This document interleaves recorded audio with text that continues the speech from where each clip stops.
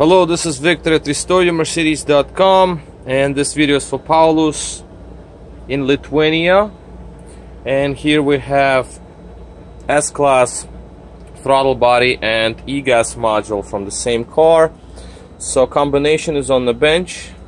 As you can see this is the e-gas module. And both are active right now. They work together.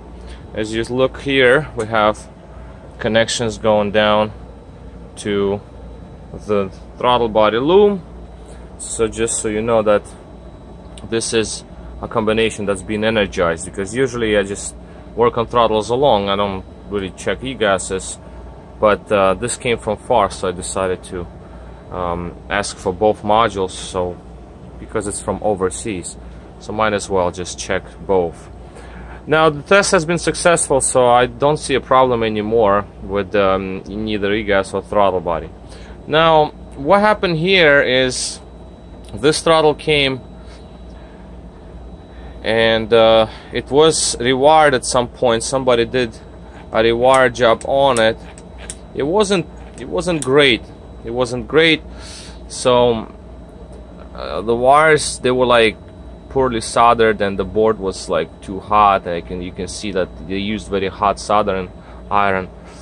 And uh, the main connector uh, they did not go all the way inside. And that is another thing that I needed to correct because when I took connector apart then I see that the wires were bare in there. So obviously that's a that's a bad situation. Um, the entry point it was destroyed but whoever did this before I managed to save it because I like to save entry points.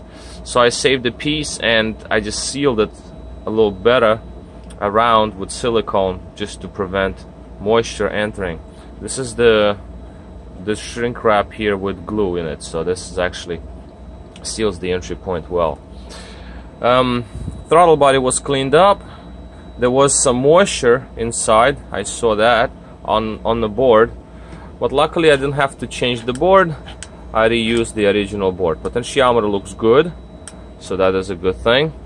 I just in case, I never really do this, but I siliconed the actual covers. I don't do that because really there is not significant need to do such a thing, but I'm not sure on climate there, so I don't know if it's too moist, then maybe. Because if the throttle runs on the car, it gets hot, everything vaporizes. And another thing is over here, as you can see, this is a vent. This is the vent so moisture can in and out, get in and get out. Mostly to get out, obviously, because if throttle would have been totally sealed, there will be a little bit of moisture going past the shafts, you know, right there, going in to potentiometer to the motor. And it's not critical. It, it should all vaporize when um, when engine runs because it gets really, really hot. So for that very reason, throttles they're not totally sealed units. Okay so enough of this chat. Let's just go to show the temperatures. As you can see the throttle is running over a hundred okay? So here we have e-gas module that runs around 84 this is the cold unit. As you can see it's at 77 this is room temperature right now. And this one is like I said it's at 104 um, hits around 104 so just to prove that these had been energized for quite a long time it's not easy to get this throttle to get to this temperature. Inside it's even hotter but aluminum dissipates heat like very nicely. It's like a radiator. So um, that's basically where we are. Now another thing is the activation of the unit is only possible halfway just because this is the way the controller works. The S-Class e-gas module does not let you open the throttle all the way. That is fine. That is to prevent over revving the engine on a startup. So even when throttle opens like this on a startup, you'll hit the red line. So a throttle will open all the way when you actually drive the car and let's say you go uphill or you want to floor the vehicle, then yes, it will do what it needs to do. But uh, the um, right at this point, this is this is totally normal uh, operation here. On my bench I have a different module that actually do allow me, it does allow me to open throttle all the way. But again, we're testing this combination together so we're not we're not worried i'm not I'm, you know i'm not showing that and last thing i want to show is readouts so the readouts here this is an S-Class, so you can see the readout there on uh, potentiometer R1 is different. Right there, as you can see, 432.49, totally fine.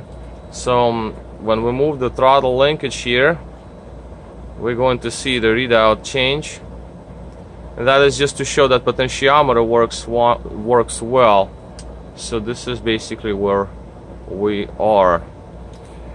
And that is basically going to be all.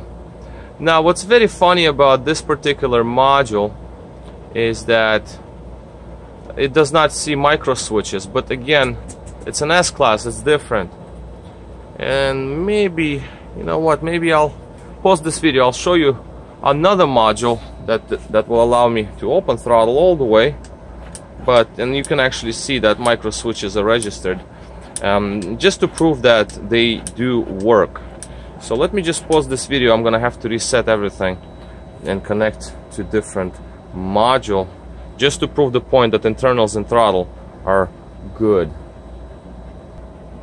Okay so right now I just swapped out modules.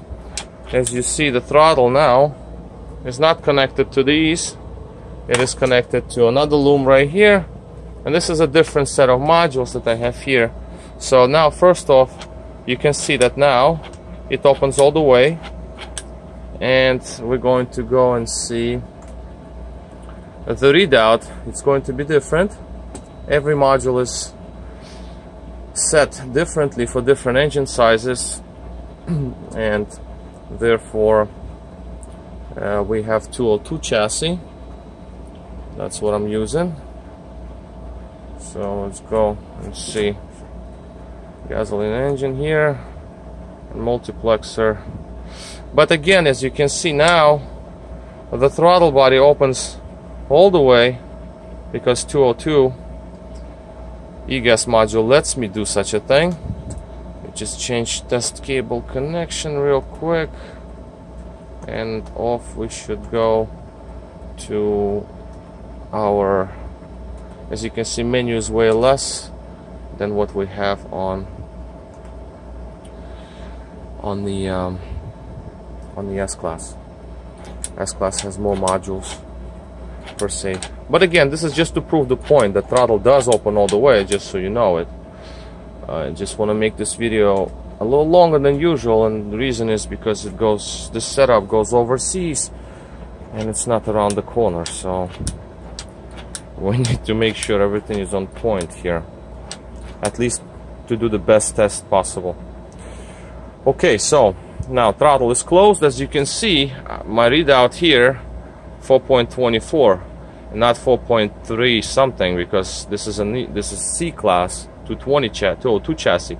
Well, 0.49 is there, and you also know that micro switches here. So you see, they're they're like different position. Don't worry about jumping. That's the computer glitch, but that's um, the switches right here. So if I move the throttle linkage over to open the plate, micro switches will change their locations. As you can see they became off on.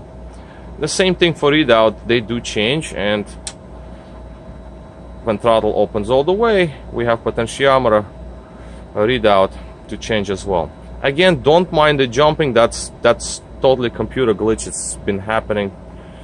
I you know it's always happens. It always happens on all of them. I don't know. There's something something software glitch going on.